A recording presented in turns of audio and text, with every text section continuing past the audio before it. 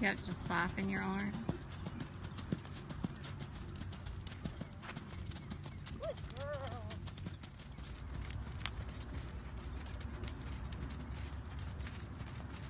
Good girl. Good girl.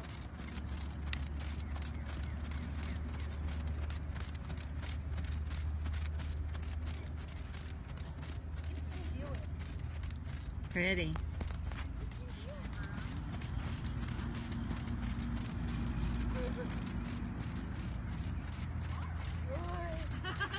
Good. Who's that pretty girl?